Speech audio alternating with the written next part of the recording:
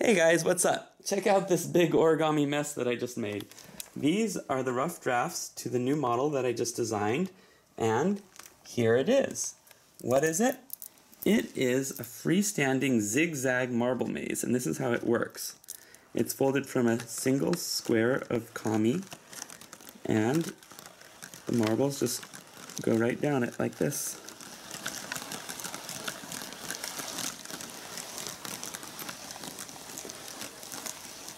And there it is.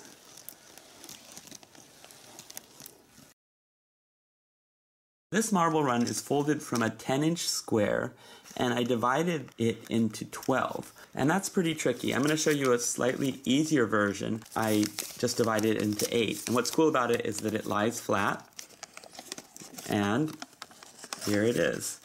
And this is how it works.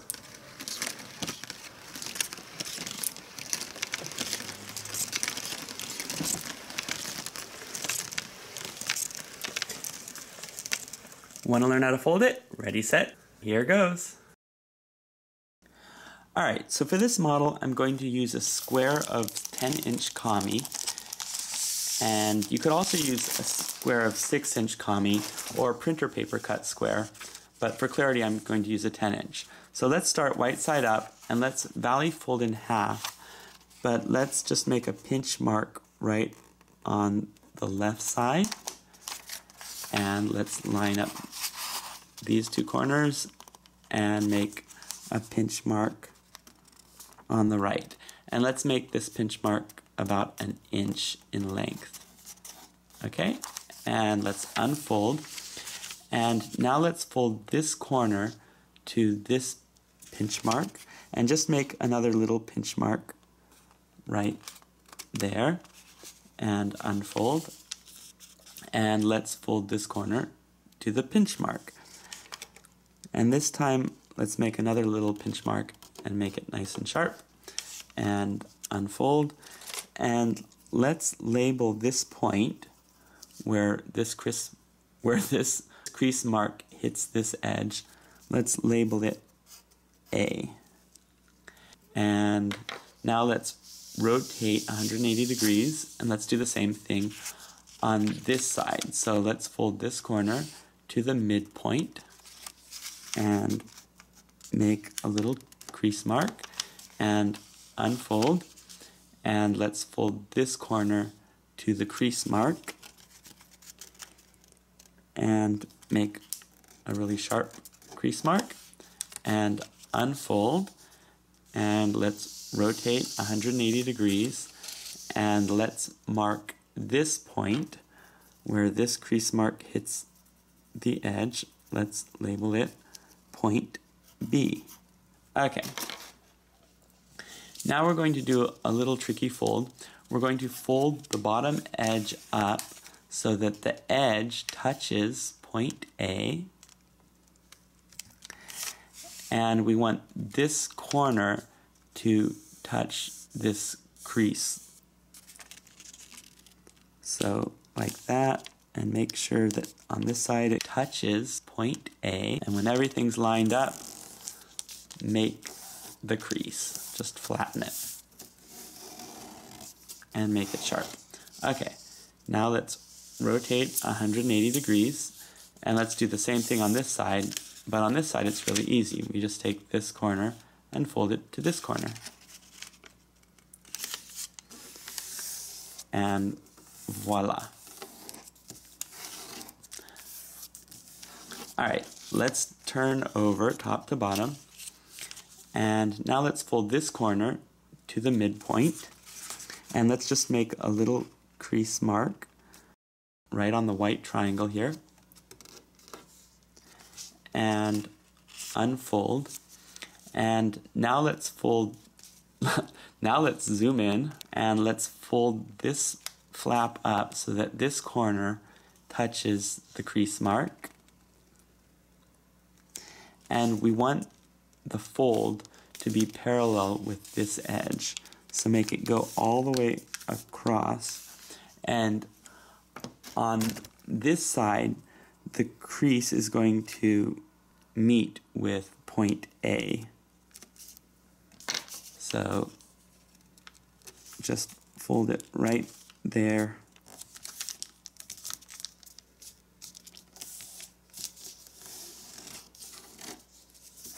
Like that. From this side, this is what it should look like. And let's rotate 180 degrees and let's do the same thing on this side. So let's fold this corner to this point and just make a crease mark and unfold and let's fold this point right here to this crease mark and fold parallel so that it goes right through this point.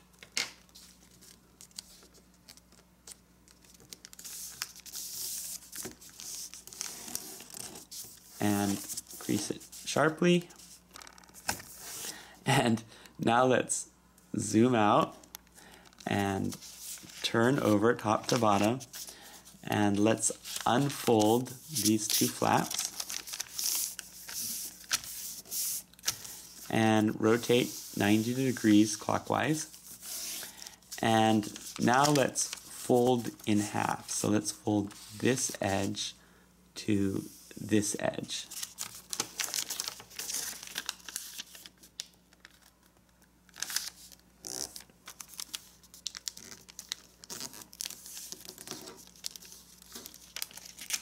And unfold.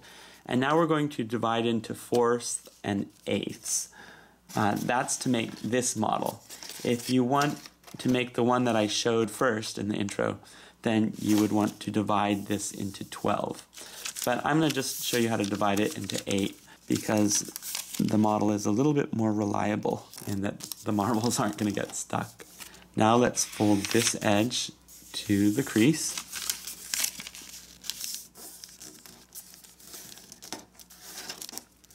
and unfold and rotate 180 degrees and let's fold this edge to the middle.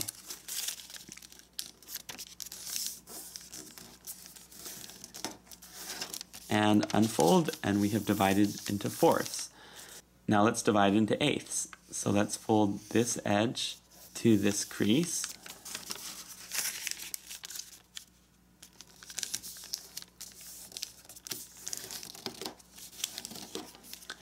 and unfold and let's fold this edge to the nearest crease.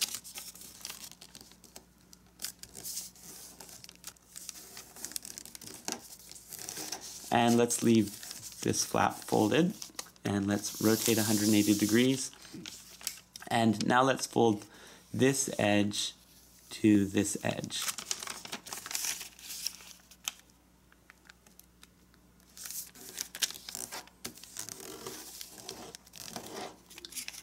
and unfold. And now let's fold this edge to the nearest crease.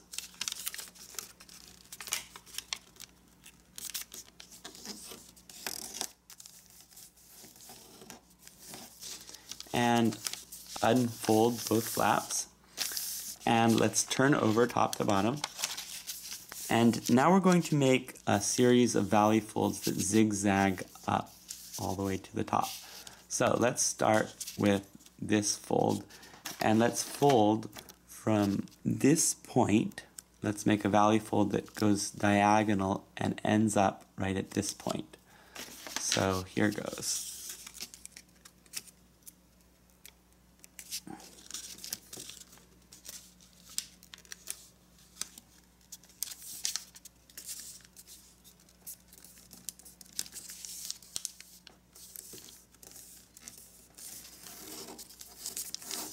Okay, so that's what it should look like. And now let's make this pleat. So let's make this valley fold and this mountain fold at the same time. So it's a pleat. And when you do that, you see this right here should be concave. It should indent inward like that. Okay? So that's what it should look like. And now let's make a valley fold that goes from this point to this point. And what we can do is just take this flap and fold it up. I guess I better zoom in. Okay, so we're taking this flap and we're folding it up and it goes from here and we want to make sure that it ends up on this point. So fold it up like that and sure enough, there it is. Okay, and unfold. And now let's make this pleat with this mountain and this valley. So it's like this. Okay, and this should be concave. It should dent inward. And let's fold this flap up so that the valley fold goes from this point to this point.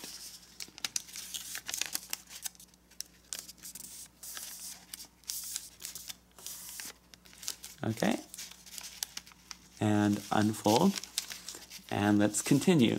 Let's make this pleat this valley and this mountain, and this is concave, and let's fold this flap up so that the valley fold goes from this point to this point.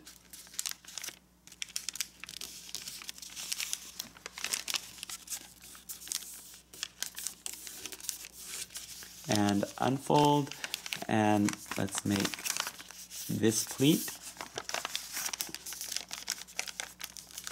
and fold the flap up so the valley fold goes between this point and this point.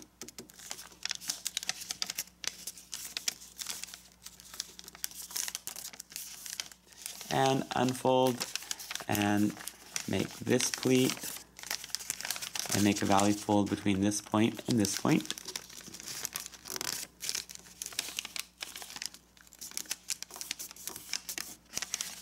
And unfold and make the pleat here and fold the flap up so the valley fold goes between this point and this point.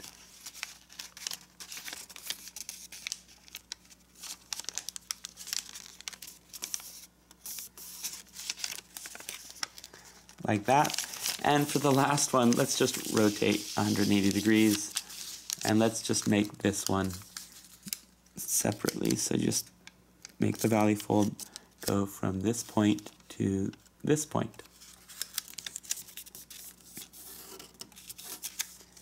And unfold. Okay, now let's try to collapse the paper on the existing creases. So make the zigzag and this becomes a valley and just kind of accordion pleat it like this.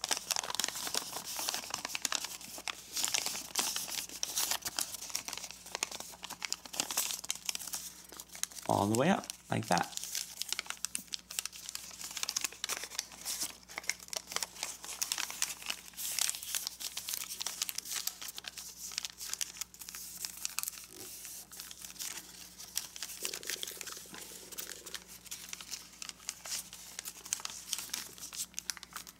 Try to flatten it as clean as you can.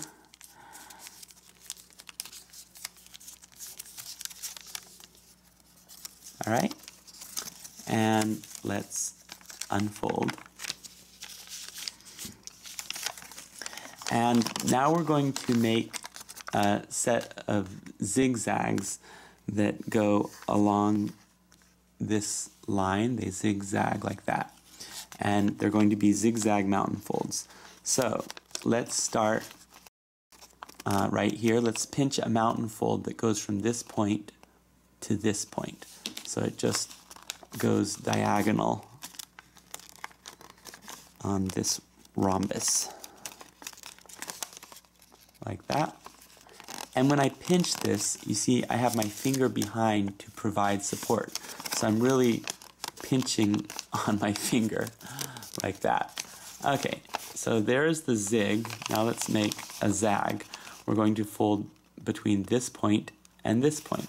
Just make a mountain fold. So I have my finger in place and just pinch the mountain fold. Okay, we have zigzag. Let's make another zig.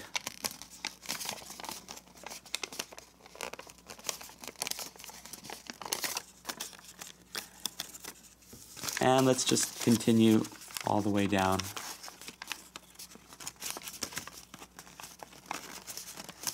Zag.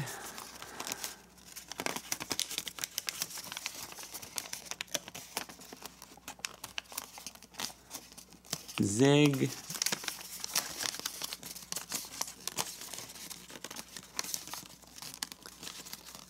Zag and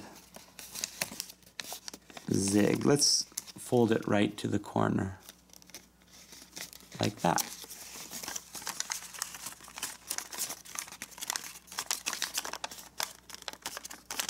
And for this one, uh, I don't really have an exact guideline. Well, we can just fold it from this point to this point, unless you want to try to make it identical to this angle, but I wouldn't worry about it. We'll figure it out later. Okay, just like that. And there we have it. Now let's do the same thing on this side, but it's a little bit different because uh, we're following this line. So we're going to make our first zig that goes from this point to right about here where this crease mark hits this edge. It doesn't need to be exact.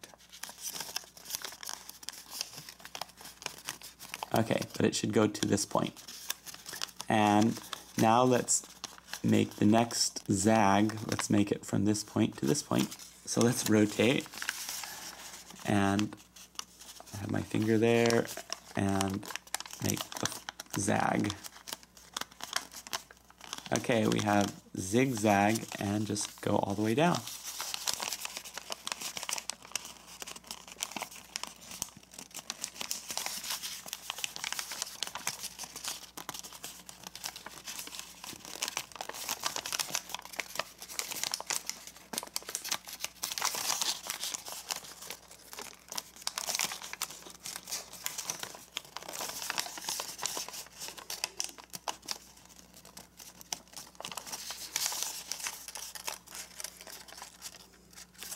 And lastly, let's make the fold go from this point to this corner.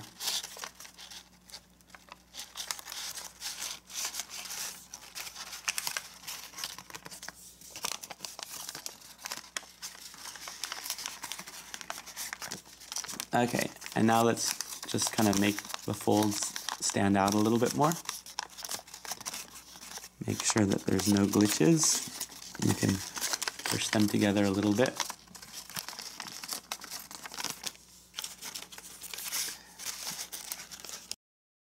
It's almost done. Let's just uh, lift these flaps up. One, two, three, and four. So this is where the marble will hit the wall so that it won't fall off the, the path. And let's do the same thing on this side these edges up.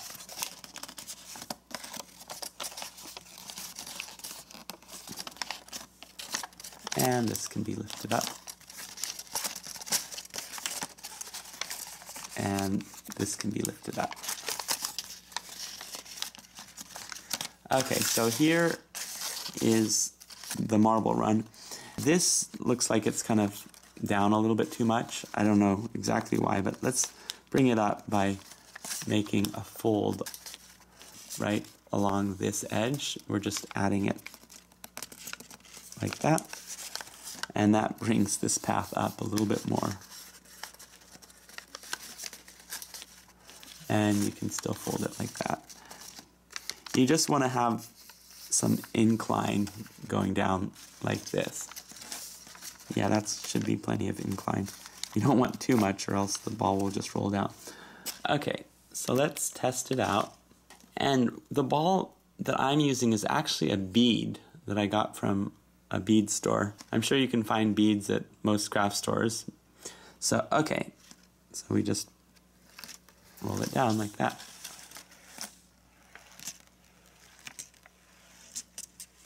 So that works. All right, now I'm gonna show you how to collapse it flat. You don't actually need to collapse it flat. I mean, if you like it like this and it works, then that's good. But I think it's neat that it collapses and it also makes it more transportable. So here it goes. Let's fold on these pleats right here on the path like that. And now we just need to flatten each segment individually. So let's start with this one.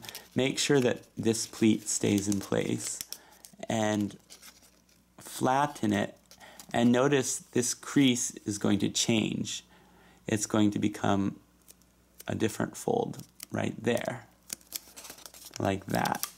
And now let's bring this pleat together and let's start to flatten here. And notice we're changing this fold It goes like that.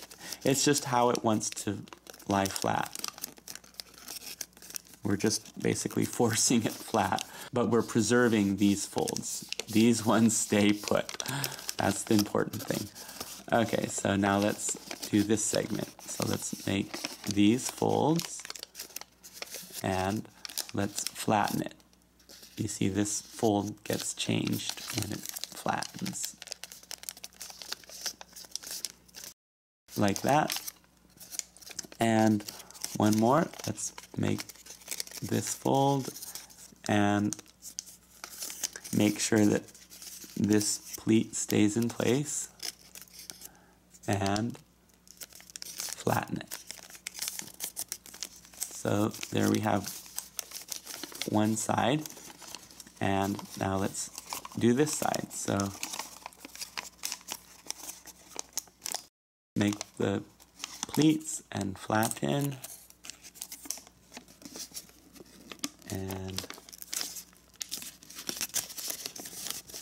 flatten. Try to make it as clean as possible.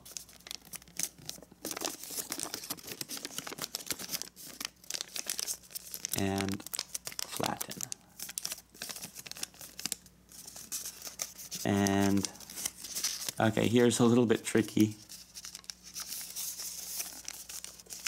But you want to try to follow the same pattern.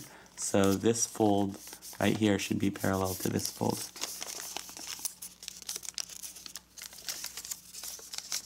So it's like that and flatten.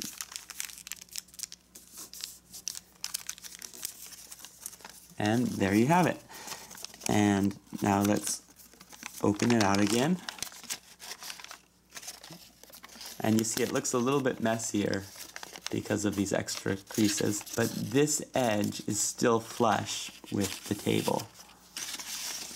And same over here. Okay, so let's see how it works. Let's lift this part right here so that this first segment is sufficiently inclined.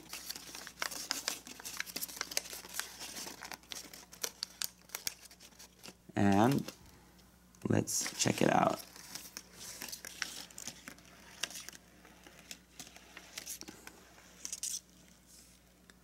boop, boop, and it works. Oh, by the way, if it doesn't go all the way down, you just flatten it out, then it should go all the way down, yes. And to make this little catcher thing, all I did was I took a six inch square and I divided it into fourths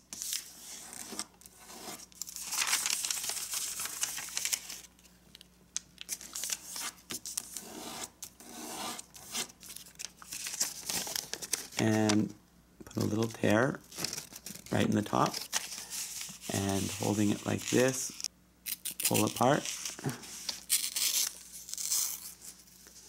and take here and make a little tear. Okay, and uh, first make the opening. So this is where the marble or bead is going to enter. Like that. And you don't actually want to make the fold lie too flat because otherwise the bead might roll right over it. Okay. Now let's fold this flap up so that this edge aligns with this edge.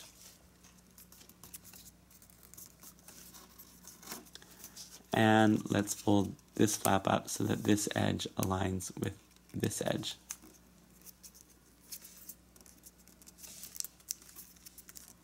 Try to make it look kind of symmetrical. It looks kind of like a bell to me. In fact, it can be a bell and let's try to make a little thing on the bell to make it look more like a bell. So let's pull it out and make it into a rabbit ear. And unfold, and let's fold this point to the intersection of creases.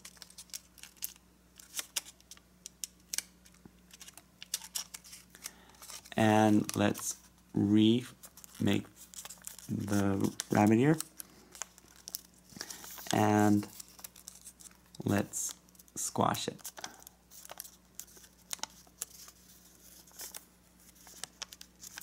So there's the little bell thingy. If you really want, you can round it out a little bit.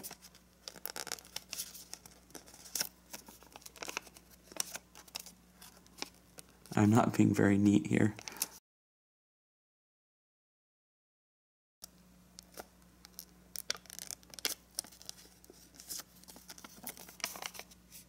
Okay, so there's the bell. And now you just stick this thing under here. Oh, make sure that the flaps are up a little bit so that the ball doesn't escape. Okay, and stick it under like this. And let's try it.